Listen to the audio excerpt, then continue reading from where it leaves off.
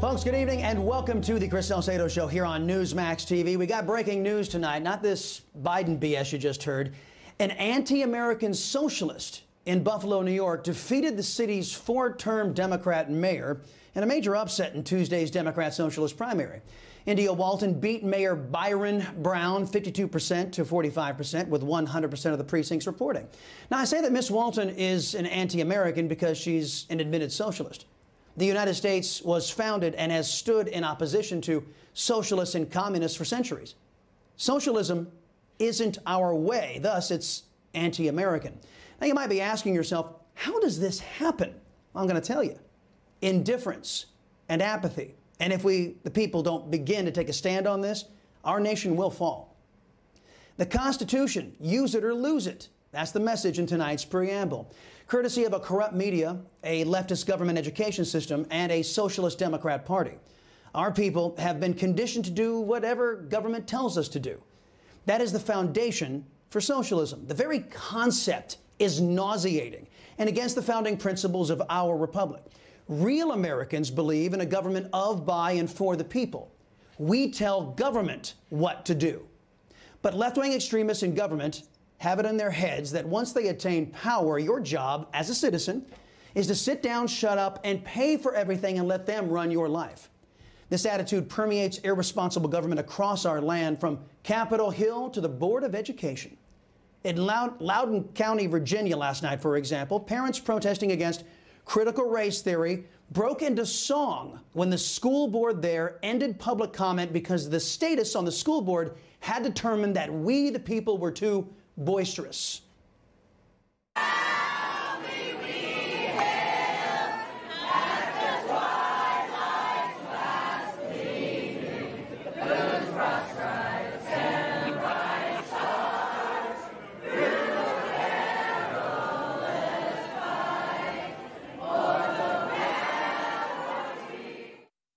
All right. For all of you uh, anti American socialists out there, that was the U.S. national anthem. I felt compelled to give you that information because when that song is usually sung, you're usually the ones kneeling down. Just wanted to clarify. The parents really ticked off the school board overseers there because the police showed up and started making arrests on parents whose free speech was making the school board members uncomfortable. That leads me to Simon Campbell.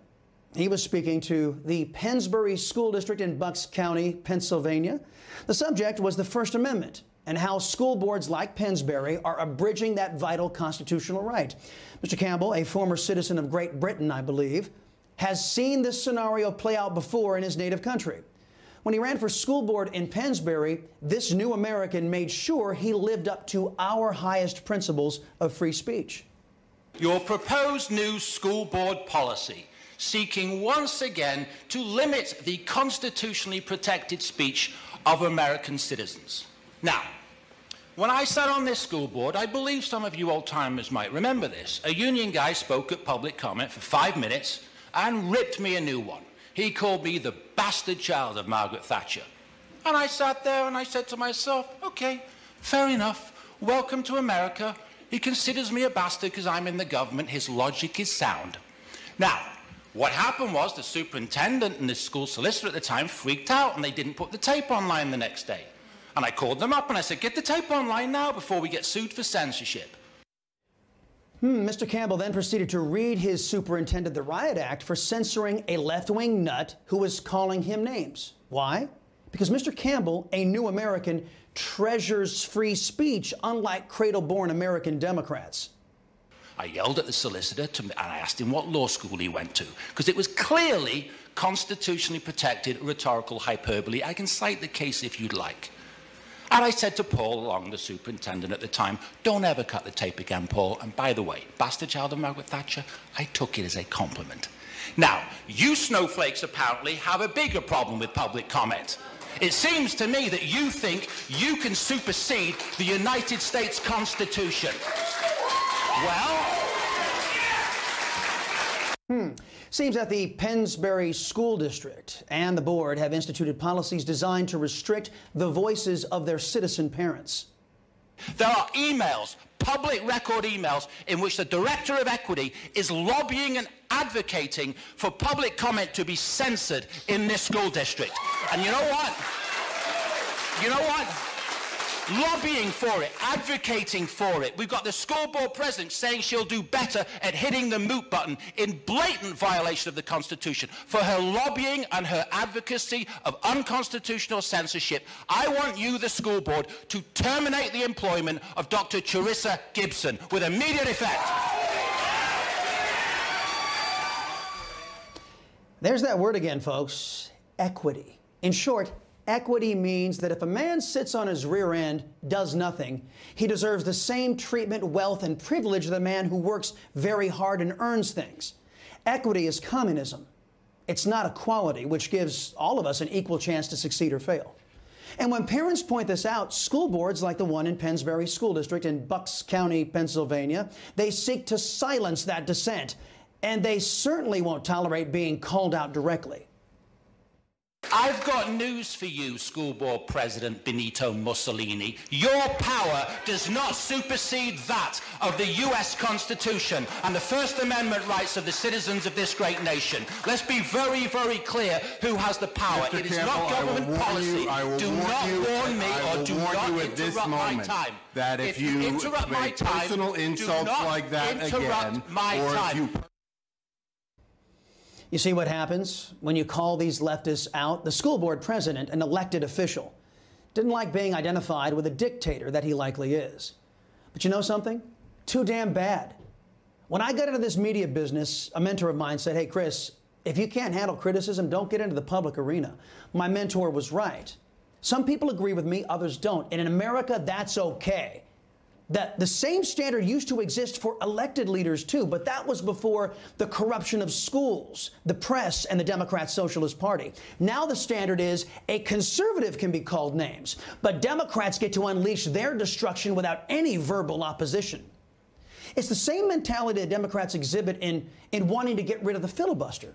You know, it was okay when leftists used the filibuster to defeat the GOP agenda when the GOP controlled the White House and Congress. But now, Left wingers and these extremists on MSNBS say the filibuster is the same as apartheid.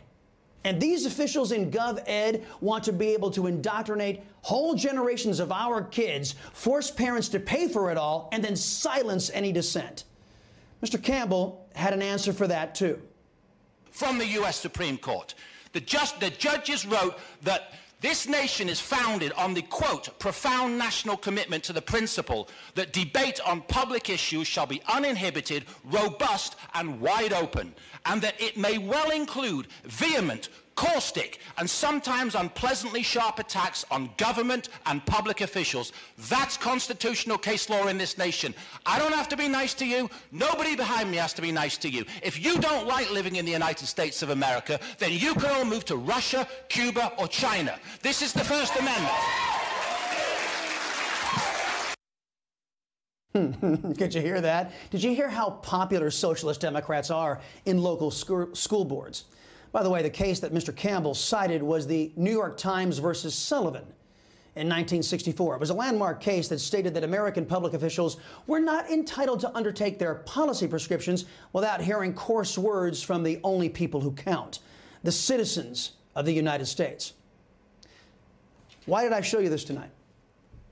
Well, why can Senator Schumer threaten two sitting Supreme Court justices, use a derogatory word for mentally challenged kids, and yet suffer no consequences? But angry parents can't shout from the rooftops their opposition to the teaching of the racist and hate filled critical race theory. Why is the GOP accused of racism when they use the filibuster, but Democrat socialists can use it without criticism from a corrupt press? It's because, my friends, we accept the double standard. Is the GOP timid? Yes. But we can't afford to be anymore. If the Republicans are going to cower and allow their constituents to be harmed by anti American socialists, then it's up to us to rise up and leave both parties behind. Only Democrat voters elect socialists who then unleash policies that cause massive crime waves, doing harm to those very same voters. Only Democrat voters accept the harm their leaders do to them. GOP voters don't, or at least they shouldn't. Why did I show you these videos tonight? I showed it to you because what Mr. Campbell just did needs to be replicated all over this country, from your school boards all the way to the Congress and even the presidency. I'm not being rhetorical when I say that our republic's very survival depends on it. Hey, I'm Rob Finnerty. Thanks for watching. If you enjoyed this video, please join the conversation in the comments below. Don't forget to subscribe, too. Hit the bell icon to be alerted to breaking news. And remember, there's a whole lot more on Newsmax TV, America's fastest growing cable news network. Newsmax TV, we're real news for real people.